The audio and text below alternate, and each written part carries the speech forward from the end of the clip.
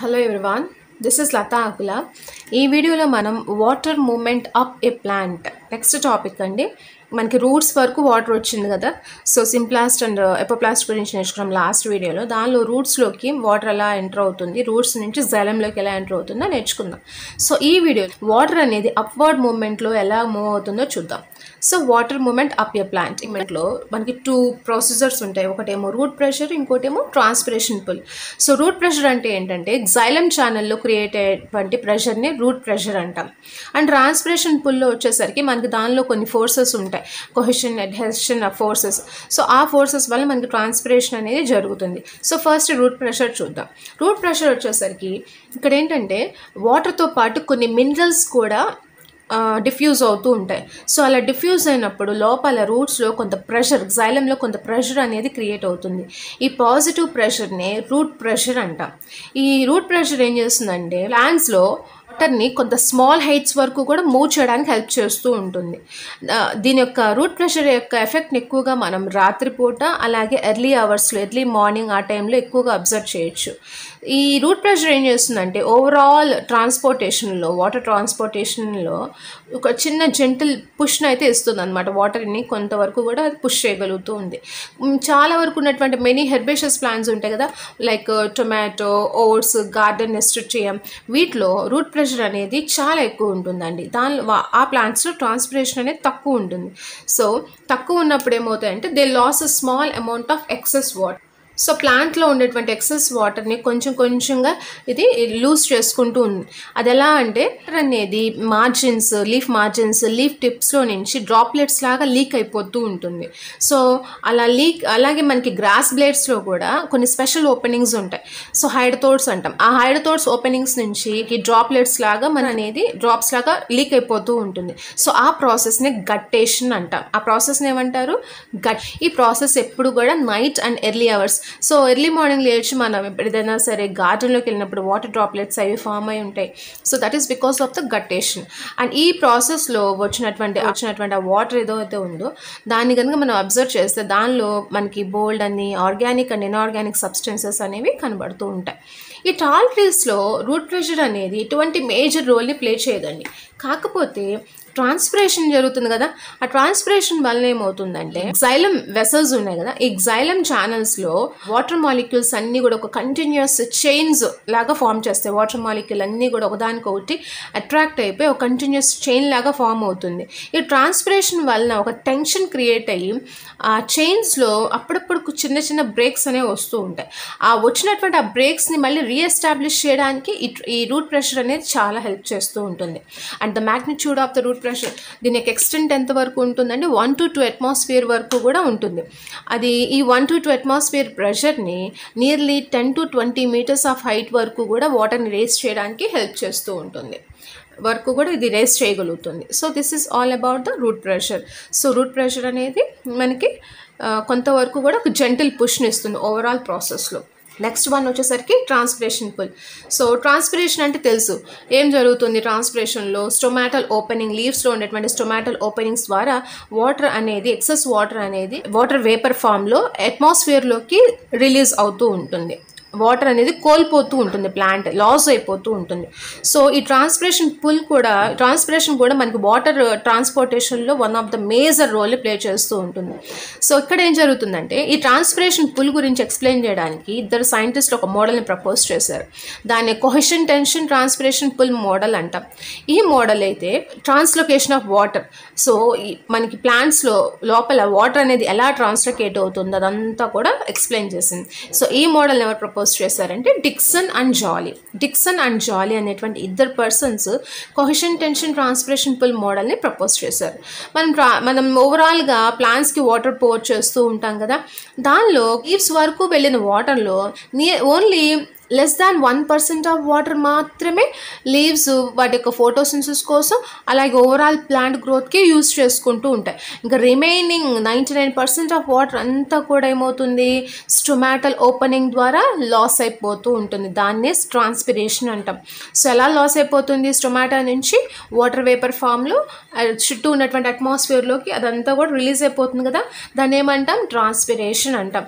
ఈ ట్రాన్స్పిరేషన్లో కొన్ని physical forces ఉంటాయండి. ఆ ఫిజికల్ ఫోర్స్ ప్రాసెస్ అనేది జరుగుతూ ఉంటుంది. ఆ ఫిజికల్ ఫోర్సెస్ ఏంటి? Cohesion adhesion surface tension cohesion అంటే ఏంటంటే వాటర్ మాలిక్యూల్స్ మధ్యలో ఉండేటువంటి మ్యూచువల్ అట్రాక్షన్ని కొహెషన్ అంటాం. సో వాటర్ మాలిక్యూల్స్ మధ్యలో ఉన్నటువంటి మ్యూచువల్ అట్రాక్షన్ని కొహెషన్ అంటాం. అండ్ అడ్హెషన్ వచ్చేసరికి వాటర్ మాలిక్యూల్స్కి అలాగే ట్రకేరీ ఎలిమెంట్స్ అంటే ట్రకేరీ ఎలిమెంట్స్ అంటే ఏంటి? వాటర్ అనేది జైలంలో మూవ్ అవుతూ ఉంటుంది కదా వాటిలో one of the element tracheary element ఆ ట్రకేరీ ఎలిమెంట్స్ అంటే ఒక ట్యూబ్ లాగా ఉంటాయి. సో వాటిలో నుంచి మూవ్ అవుతూ ఉన్నప్పుడు వాటి యొక్క వాల్స్తో ఈ వాటర్ మాలిక్యూల్స్ అనేది అట్రాక్ట్ అయి ఉంటాయి. ఆ ప్రాసెస్ని అడ్హెషన్ అంటాం. Next surface tension water molecules అనేవి ఒకదానికొకటి అట్రాక్ట్ అవుతూ ఉన్నాయన్నాం కదా? ఇది లిక్విడ్ ఫామ్లో ఎక్కువగా అట్రాక్ట్ అవుతాయి. గ్యాసెస్ ఫామ్లో కంటే కూడా వాటర్ కనుక గ్యాసెస్ ఫామ్లో లిక్విడ్ ఫామ్లో ఉంటే గ్యాసెస్ ఫామ్లో కంటే కూడా లిక్విడ్ ఫేజ్లో ఎక్కువగా వాటర్ డ్రాప్లెట్స్ అనేవి వాటర్ మాలిక్యూల్స్ అనేవి అట్రాక్ట్ అవుతూ ఉంటాయి. That is called surface tension ఈ కొహసివ్ ఫోర్స్ని ఇంకొక పేరు ఏంటంటే టెన్సైల్ స్ట్రెంగ్త్ అని కూడా అంటామండి. What is another name for the cohesive force tensile strength ఈ వాటర్ కాలం అనేది ఈ అడ్హెసివ్ ఫోర్స్ ఉండడం వలన ట్రకీరీ ఎలిమెంట్స్ తో అట్రాక్ట్ అయి ఉంటుందని చెప్పుకున్నాం కదా వాటి మధ్యలో ఎటువంటి బ్రేక్ అనేది రాదు because of the adhesive force so ఫోటోసిన్సిస్లో water కావాలి. సో ఈ వాటర్ని ఎవరు ప్రొవైడ్ చేస్తూ ఉంటారంటే ట్రాన్స్పిరేషన్ ద్వారా మనకు వాటర్ అనేది లీవ్స్ వరకు కూడా మూవ్ అవుతూ ఉంటుంది. జైలన్ వెసల్స్లో మనకు వాటర్ ఎక్కడి నుంచి వస్తుందండి? రూట్స్ నుంచి లీఫ్ వెయిన్ వరకు కూడా ఎవరు క్యారీ చేస్తారంటే జైలం వెసల్స్ క్యారీ చేసి తీసుకొస్తాయి.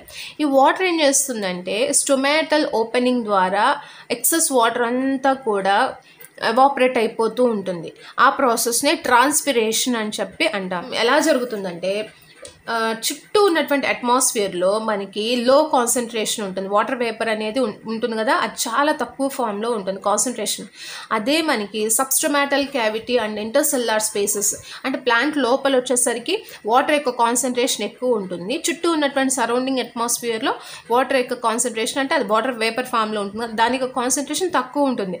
సో వాటర్ ఎప్పుడు కూడా ఏం చేస్తుంది? హై కాన్సన్ట్రేషన్ నుంచి లో కాన్సన్ట్రేషన్కి మూవ్ అవుతూ ఉంటుంది కదా? కాబట్టి హై కాన్సన్ట్రేషన్ ఎక్కడ ఉంది ప్లాంట్ లోపల ఉంది అండ్లో కాన్సన్ట్రేషన్ ఏమో చుట్టూ ఉన్నటువంటి ఎన్విరాన్మెంట్లో ఉంది. కాబట్టి ఏం చేస్తుంది? ఈ హై కాన్సన్ట్రేషన్ నుంచి లో కాన్సన్ట్రేషన్కి వెళ్ళే ప్రాసెస్లో వాటర్ అంతా కూడా సరౌండింగ్ ఎయిర్లోకి డిఫ్యూజ్ అవుతుంది. సరౌండింగ్ ఎయిర్లోకి డిఫ్యూజ్ అవుతుంది. సో అలా సరౌండింగ్ ఎయిర్లోకి డిఫ్యూజ్ అవుతూ ఉన్నప్పుడు అది ఒక పుల్ని ఇట్ క్రియేట్స్ ఎ పుల్. అదంతా కూడా వాటర్ అంతా కూడా పుల్ అవుతూ ఉంటుందన్నమాట. ఈ ట్రాన్స్పిరేషన్ ఏం చేస్తుందంటే ఒక ప్రెషర్ని క్రియేట్ చేస్తుందండి.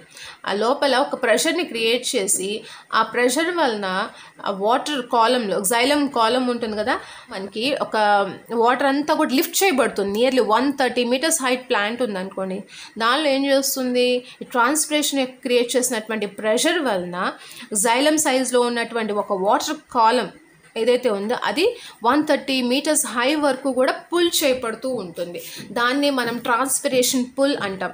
సో ఈ ట్రాన్స్పిరేషన్ పుల్ ద్వారా చాలా హైట్ వరకు కూడా వాటర్ అనేది అప్వార్డ్ మూమెంట్లో మనం స్ట్రాతో ఎలా సక్ చేస్తూ ఉంటాం అలాగా మనకి చుట్టూ ఉన్నటువంటి ఎన్విరాన్మెంట్ వాటర్ అనేది తక్కువ ఉండడం వల్ల అంతా కూడా పుల్ చేస్తూ ఆ ప్రెషర్ వలన వాటర్ అనేది అప్వార్డ్ మూమెంట్లోకి ట్రావెల్ చేయగలుగుతూ ఉంటుంది. This is about the transpiration pull transpiration. So transpiration అంటే ఏంటండి? Loss of water in the form of water vapour. So ప్లాంట్లో ఉన్నటువంటి ఎక్సెస్ వాటర్ అంతా కూడా వాటర్ వేపర్ ఫార్మ్ ప్లాంట్ నుంచి లాస్ అయితే దాన్ని ట్రాన్స్పిరేషన్ అంటాం. Not only leaves aerial parts మనకి గ్రీన్ స్టెమ్స్ వీటిలో నుంచి కూడా మనకి ట్రాన్స్పిరేషన్ అనేది జరుగుతూ ఉంటుంది. సో ఈ ట్రాన్స్పిరేషన్ వల్ల ఏంటి యూజ్ అంటే వాటర్ అండ్ మినరల్స్ని అబ్జార్బ్ చేసుకోవడానికి రూట్స్ నుంచి చూసుకోవడానికి ట్రాన్స్పిరేషన్ ద్వారా మనకి upward movement of water help చేస్తుందని చెప్పుకున్నాం కదా? అది ఎసెంట్ ఆఫ్ శాప్ అంటాం. జైలమెంట్ ఆఫ్ వాటర్ జరుగుతుంది. దాన్ని ఎసెంట్ ఆఫ్ శాప్ అంటాం. And lowering of temperature plant చుట్టూ ఉన్నటువంటి అట్మాస్ఫియర్లో టెంపరేచర్ ఎక్కువ ఉన్నప్పుడు ఇది వాటర్ వేపర్ ఫామ్లో బయటకు రిలీజ్ అయ్యి దాని ఆ ప్లాంట్ చుట్టూ ఉన్నటువంటి అట్మాస్ఫియర్ని కొంచెం కొంతవరకు కూల్ చేస్తూ ఉంటుంది. అంటే టెంపరేచర్స్ని తగ్గిస్తూ ఉంటుంది సరౌండింగ్ ఎన్విరాన్మెంట్లో సో ఈ స్టొమాటా ఇదన్ ఈ ట్రాన్స్పిరేషన్ అనేది మెయిన్లీ దేని ద్వారా జరుగుతుందంటే స్టొమాటా స్టొమాటా అనేవి మెయిన్. ఇంకా టైప్స్ ఆఫ్ ట్రాన్స్పిరేషన్స్ చూస్తే మనకి మొత్తం ఫోర్ టైప్స్ ఆఫ్ ట్రాన్స్పిరేషన్స్ ఉంటాయండి. ఒకటేమో stomatal transpiration cuticular transpiration lenticular transpiration bark transpiration అని చెప్పేసి. స్టొమాటల్ ట్రాన్స్పిరేషన్ అంటే ఏంటంటే ట్రాన్స్పిరేషన్ అనేది ఒక స్టొమాటో ద్వారా జరిగితే దాన్ని స్టొమాటల్ ట్రాన్స్పిరేషన్ అంటాం. ఇది లీవ్స్లో ఉంటాయి కదా లీఫ్లో ఉండేటువంటి ఓపెనింగ్స్ స్టొమాటా అంటాం. సో ఇవి మన అన్ని ట్రాన్స్పిరేషన్స్ చూస్తే మనకి మేజర్గా fifty to ninety seven percent of total water loss అనేది ఈ స్టొమాటల్ ట్రాన్స్పిరేషన్ ద్వారానే జరుగుతుంది. Next cuticular transpiration. మనకి epidermis outer walls of epidermal cells ఉంటాయి కదా దానిపైన కోటింగ్ ఉంటుంది దాన్ని క్యూటికిల్ అంటాం.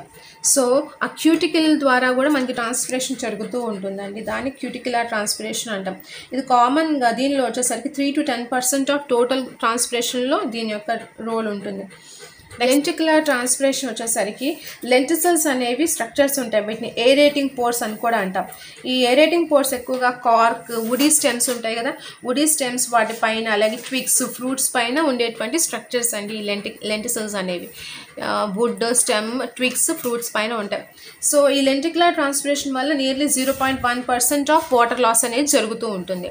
Next bark transpiration bark transpiration అంటే ఏంటంటే మనకి బార్క్ అనేది ఎక్కడ ఉంటుంది? వుడీ స్టెమ్స్లో మనకి బార్క్ అనేది ఉంటుంది. ఈ బార్క్లో ద్వారా transpiration of the total transpiration ఇది వన్ పర్సెంట్ ఆక్యుపై చేస్తుంది. So this is all about the types of transpirations now will see the structure of stomata ఏముంటాయి? ఇవి అపర్చర్స్ లీవ్స్లో ఉండేటువంటి అపర్చర్స్ టైనీ అపర్చర్స్ ఏమంటాం? స్టొమాటా అంటాం. సో ఇవి ఎక్కడ ఉంటుంది? ఎపిడర్మిస్ ఆఫ్ ద లీవ్స్ అలాగే యంగ్ స్టెమ్స్లో మనకి స్టొమాటా అనేది ఉంటాయి. స్టొమాటా చుట్టూ కూడా ఇది దీన్ని స్టొమాటా అంటాం ఈ పోర్ని stomata.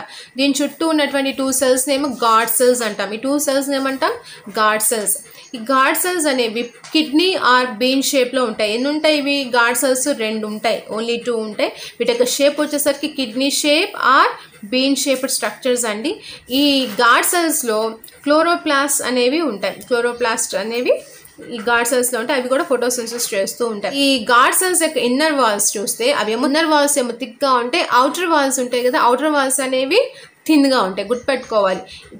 Inner walls are thick outer walls are thin and inner walls అనేవి ఎలాస్టిక్గా థిక్గా ఉంటాయి అవుటర్ వాల్స్ అనేవి థిన్గా ఉంటాయండి. వీల్స్లో మనకి టర్జిడిటీ వలన opening and closing of stomata అనేది జరుగుతుంది. టర్జిడిటీ అంటే ఏంటి? వాటర్ అక్యుములేట్ అయినప్పుడు స్వెల్ అవుతుంది కదా దాన్ని టర్జిడిటీ అంటాం. సో దాని వలన మనకి opening and closing of guard cells అనేవి జరుగుతూ ఉంటాయి. టర్జిడిటీ ఉన్నదనుకోండి టర్జిడిటీ ఇంక్రీజ్ అయినప్పుడు థిన్ అవుటర్ వాల్స్ ఉన్నాయి కదా థిన్ అవుటర్ వాల్స్ ఏమవుతాయి అంటే బల్జ్ అయిపోతాయి. సో ఇది. ఇవి ఇలా బల్జ్ అయిపోయి ఈ ఇన్నర్ వాల్స్ని క్రిసెంట్ షేప్లోకి చేంజ్ అయ్యేలాగా ఫోర్స్ చేస్తూ ఉంటాయి. అప్పుడు మనకి స్టొమాటో అనేది ఓపెన్ అవుతుంది. ఒకవేళ టర్జిడిటీ అనేది తగ్గిపోతే ఏమవుతుంది? ఇవి నార్మల్ కండిషన్లోకి వచ్చేస్తుంది ఇవి కాస్త క్లోజ్ అయిపోతుంది. ఓకే నెక్స్ట్ గాడ్ సెల్స్కి ఈ ఈ గాడ్ సెల్స్ అని చెప్పుకున్నాం కదా ఈ గాడ్ సెల్స్లో మనకి రేడియల్లీ ఇది చాలా ఇంపార్టెంట్ అండి. రేడియల్లీ అరేంజ్డ్ సెల్యులోసిక్ మైక్రోఫైబ్రిల్స్ ఉంటాయి. ఏముంటాయి? So radially arranged cellulosic microfibrils అనేవి గాడ్ సెల్స్లో ఉంటాయి. ఈ మైక్రోఫైబ్రిల్స్ ఉండడం వల్ల అండ్ ఓపెనింగ్ ఆఫ్ స్టొమాటా అనేది జరుగుతూ ఉంటుంది. Radially because of the radially arranged cellulosic microfibrils only the stomata will open and close next ఈ గాడ్ సెల్స్ చుట్టూ సెల్స్ ఉన్నాయి. యాక్సెసరీ సెల్స్ వీటిని సబ్సిడరీ సెల్స్ అని కూడా అంటాం. సో గాడ్ సెల్స్ చుట్టూ ఉన్నటువంటి సెల్స్ని ఏమంటాం? Subsidiary cells or accessory cells అని అంటాం. నెక్స్ట్ డైకాట్ లీఫ్ తీసుకుంటే డైకాట్ లీఫ్ని ఇంకొక పేరు ఏంటంటే డోర్సీ వెంట్రల్ లీఫ్ అని కూడా అంటామండి. సో డైకాట్ లీఫ్ని ఏమంటాం మనం? డోర్సీ వెంట్రల్ లీఫ్ అని కూడా అంటాం. మోనోకాట్ లీఫ్నేమో ఐసో బయలేటరల్ లీఫ్ అంటే డైకాట్ లీఫ్నేమో డోర్సీ వెంట్రల్ లీఫ్ అని చెప్పి అంటాం. సో డైకాట్ లీఫ్లో తీసుకుంటే లోవర్ సర్ఫేస్ లోవర్ సర్ఫేస్ వచ్చేసరికి గ్రేటర్ నెంబర్ ఆఫ్ స్టొమాటా ఉంటాయి. అదే మనకి upper సర్ఫేస్లోనేమో low very less number of stomata అనేది ఉంటుంది. అదే monocot leaf or isobilateral leaf తీసుకుంటే దానికి బోత్ సైడ్స్ కూడా ఈక్వల్ నెంబర్ ఆఫ్ స్టొమాటా అనేది ఉంటుంది. డోర్సే వెంట్రల్ లీఫ్లోనేమో లోవర్ సైడ్లో నెంబర్ ఆఫ్ స్టొమాటా అనేవి మోర్ ఉంటాయి. అదే మనకి ఐసోబైలెట్రల్ లీఫ్ ఆర్ మోనోకాట్ లీఫ్లో వచ్చేసరికి equal number of leaf equal number of stomata on both sides both సైడ్స్లో కూడా ఈక్వల్ నెంబర్ ఆఫ్ స్టొమాటా అనేది కనబడుతూ ఉంటాయి. అండ్ మోనోకార్స్ చూసామనుకోండి. దీనిలో మనకి వీటి యొక్క షేప్ ఏమంటామంటే ఎలిప్సాయిడ్ ఆర్ డంబెల్ షేప్ అంటాం. వే shape ellipsoid or dumbbell shaped stoma guard cells అనేవి ఉంటాయి. సో ఇవి they belongs to the family gramineae or poaceae. కాబట్టి వీటిని ఏమంటాము? Gramineous stomata or poaceous stomata అని కూడా అంటారు. మోనోకాట్ స్టొమాటాని ఏమంటాం? గ్రామినేషియస్ ఆర్ పోయేషియస్ స్టొమాటా అంటాం. ఈ స్టొమాటాలో వచ్చేసరికి ఈ థిన్ ఎండ్ వాల్స్ ఉంటాయి. ఇవి థిన్ ఇవి ఎండ్ వాల్స్ అండి. ఇవి మిడిల్ వాల్స్ ఎండ్ వా ఇవి ఎండ్ వాల్స్ ఇవి మిడిల్ వాల్స్ ఈ ఈ ఎండ్ వాల్స్ వచ్చేసరికి థిన్గా ఉంటాయి. అండ్ మిడిల్ వాల్స్ వచ్చేసరికి థిక్గా ఉంటాయి.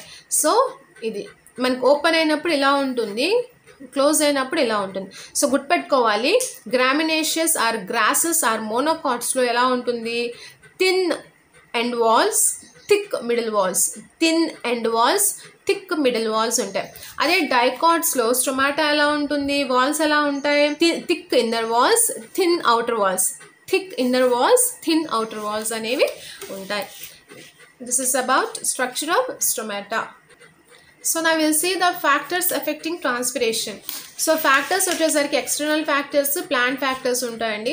ఎక్స్టర్నల్ ఫ్యా ఫ్యాక్టర్స్కి వచ్చేసరికి light relative humidity temperature wind ఇవన్నీ వస్తాయి. Blue light and red lights ఇవి రెండు ఏం చేస్తూ ఉంటాయంటే స్టొమాటల్ ఓపెనింగ్ని ఇండ్యూస్ చేస్తూ ఉంటాయి. స్టొమాటా అనేది ఓపెన్ అవుతుంది లైట్ ఉన్నప్పుడు. సో మనకి లైట్ లేనప్పుడు స్టొమాటా అనేవి క్లోజ్ అయిపోతూ ఉంటుంది. కాబట్టి లైట్ ఉన్నప్పుడు ఏమవుతుందంటే రేట్ ఆఫ్ ట్రాన్స్పిరేషన్ అనేది ఎక్కువగా ఉంటుంది. ఓకే అలాగే టెంపరేచర్ ఇంక టెంపరేచర్ ఇంక్రీజ్ అయినా కూడా మనకి రేట్ ఆఫ్ ట్రాన్స్పిరేషన్ అనేది ఇంక్రీజ్ అవుతూ ఉంటుంది. Next relative humidity humid atmosphere ఉన్నదనుకోండి rate of transpiration అనేది తగ్గిపోతుంది. సో హ్యూమిడ్ కండిషన్లో రేట్ ఆఫ్ ట్రాన్స్పిరేషన్ అనేది తగ్గిపోతుంది. అదే డ్రై అట్మాస్ఫియర్ ఉంటే రేట్ ఆఫ్ ట్రాన్స్పిరేషన్ అనేది పెరుగుతుంది చాలా ఎక్కువ అయిపోతుంది నెక్స్ట్ టెంపరేచర్ టెంపరేచర్ ఇంక్రీజ్ అయినప్పుడు ఏమవుతుందని చెప్పుకుందాం? Rate of transpiration is high and temperature ఇస్లో temperature తక్కువ ఉన్నప్పుడు రేట్ ఆఫ్ ట్రాన్స్పిరేషన్ కూడా తగ్గిపోతుంది. విండ్ విండ్ ఎక్కువ ఉన్నప్పుడు మనకి రేట్ ఆఫ్ ట్రాన్స్పిరేషన్ అనేది ఇంక్రీజ్ అవుతుంది. నెక్స్ట్ అలాగే సాయిల్ వాటర్ అవైలబిలిటీ మనకి వాటర్లో సాయిల్లో వాటర్ అనేది తక్కువ ఉన్న ఆఫ్ ట్రాన్స్పిరేషన్ కూడా తగ్గిపోతుందండి. అసలు వాటర్ లేకపోతే ఇంకా ట్రాన్స్పిరేషన్ జరగదు కదా. సో ట్రాన్స్పిరేషన్ జరిగితే ఉన్న వాటర్ అంతా కూడా లూజ్ అయిపోతుంది కాబట్టి అక్కడ ట్రాన్స్పిరేషన్ కూడా ఆగిపోతుంది. సో వాటర్ ఎక్కువ ఉంటే ట్రాన్స్పిరేషన్ ఎక్కువ అవుతుంది. సాయిల్లో వాటర్ తక్కువ ఉంటే రేట్ ఆఫ్ ట్రాన్స్పిరేషన్ కూడా తగ్గిపోతుంది. నెక్స్ట్ ప్లాంట్ ఫ్యాక్టర్స్ వచ్చేసి structure of leaf thick cuticle కొన్ని లీవ్స్లో క్యూటికల్ థిక్గా ఉంటుంది. స్టొమాటో వచ్చేసరికి సంకెన్ స్టొమాటా డీప్ స్టొమాటో అని ఉంటాయి. కొన్నిటికేమో వ్యాక్సీ కోటింగ్ ఉంటాయి లీవ్స్కి. అండ్ కొన్నిటికేమో థిక్ వాల్డ్ హైపోడెర్మిస్ ఉంటాయి. ఇవన్నీ కూడా రేట్ ఆఫ్ ట్రాన్స్పిరేషన్ని రెడ్యూస్ చేస్తూ ఉంటాయి. అలాగే మనకి కెనోపీ స్ట్రక్చరు ప్లాంట్లో ఉన్నటువంటి వాటర్ స్టేటస్ స్టొమాటో యొక్క నెంబర్ ఇవన్నీ నెంబర్ ఆఫ్ ఓపెన్ స్టొమాటో ఇవన్నీ కూడా కొన్ని ప్లాంట్ ఫ్యాక్టర్స్ అండి. సో ఇవి ఎఫెక్టింగ్ ట్రాన్స్పిరేషన్ సో నెక్స్ట్ క్లాస్లో మనం mechanism of opening and closing of stomata గురించి నేర్చుకుందాం.